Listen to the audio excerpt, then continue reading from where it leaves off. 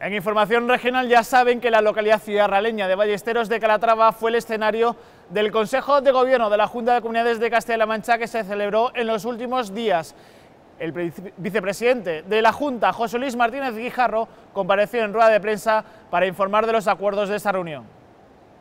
El vicepresidente del Gobierno de Castilla-La Mancha, José Luis Martínez Guijarro, ha avanzado que el Ejecutivo Regional prepara, en colaboración con las diputaciones provinciales, la convocatoria de un nuevo plan de empleo dirigida a las entidades locales que se pondrá en marcha en el segundo semestre del año, con el fin de seguir atendiendo principalmente a aquellas personas desempleadas en situación de vulnerabilidad y también somos conscientes de que sigue existiendo una bolsa de desempleados que necesitan de la iniciativa pública. Por eso, mm, aunque hemos reducido a menos de la mitad la tasa paro que nos encontramos, creemos que hay que seguir haciendo una apuesta por los planes de empleo en colaboración con las corporaciones locales, con las diputaciones y con los eh, ayuntamientos. Y, por tanto, una de las cuestiones que también hemos abordado es la eh, planificación de una nueva convocatoria de empleo que saldrá en el segundo semestre de este, de este año, dirigida al conjunto de ayuntamientos de, la región,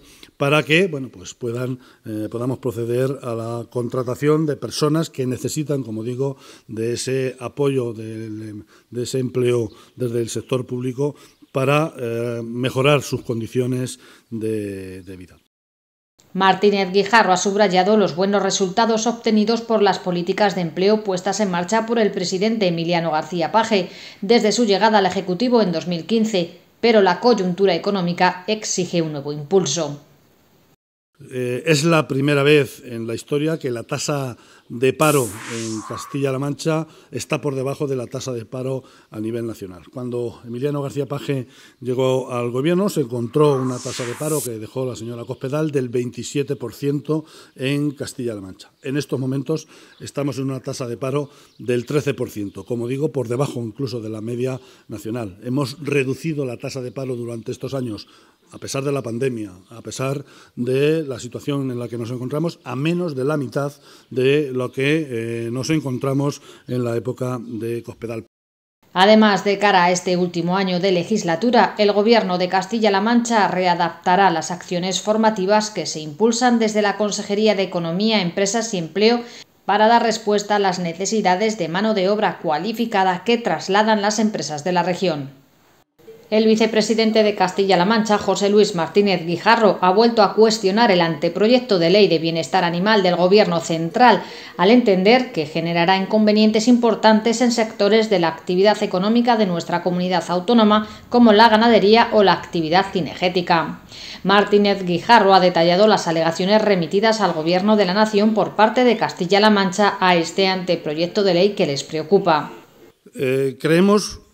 que eh, esto lo que rezuma, insisto, es un desconocimiento de la realidad del medio rural. Es una ley hecha desde un despacho con un planteamiento urbanita de eh, lo que son los animales de compañía, que para nada tiene que ver con la realidad del medio eh, rural. Y esto pues, nos preocupa, nos preocupa porque tiene una incidencia de generar inconvenientes a actividades económicas muy importantes en Castilla-La Mancha, como es la propia ganadería. Hay una parte importante de la ganadería extensiva que utiliza eh, perros para el control del, ganado y vamos a dificultar la función de los eh, ganaderos. Y luego la actividad eh, cinegética, que es muy importante en Castilla-La Mancha. Son miles de personas que son cazadores, muchísimos de ellos tienen eh, perros, eh, utilizan perros, utilizan eh, hurones, no se contempla la especialidad de la cetrería, por ejemplo, tampoco, en fin, utilizan una serie de animales. nos preocupa fundamentalmente el tratamiento que se le, que se le da a los perros, que no son meros animales de compañía y que para que un perro sea un buen instrumento para el cazador tiene que tener un proceso de aprendizaje y de entrenamiento al que, que hace el propio cazador. Guijarro, que ha comparecido acompañado del alcalde de Ballesteros de Calatrava, Juan Carlos Moraleda, quien ha agradecido la presencia del gobierno regional durante estos días en el municipio, al tiempo que ha destacado el programa de autoconsumo energético con energías renovables puesto en marcha en la localidad. Este programa permitirá un ahorro de hasta el 80% del coste de la electricidad para los vecinos y el propio consistorio. El uso de las energías renovables y fundamentalmente el programa de autoconsumo que hemos impulsado desde la Administración eh, regional. Tenemos una convocatoria eh, abierta en la que, con una primera asignación de 31 millones de euros, que eh, ha sido absolutamente cubierta por las miles de solicitudes que se nos han